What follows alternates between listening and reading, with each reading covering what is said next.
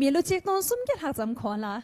假是温馨公主拍了拍拍蓝帕图，光不能总举别个啦，啥子提前中给，抗议一万别的穿呢？年别路亚浪的，啥子的到我记他怎学不堂？其实呢，舆论贴着，抗议路杆他是全不全不的。大家，啥子贴给下片了？哪样没事情他管点不呢？想必来这，越是感染西北的时候呢，看见出说不清个事。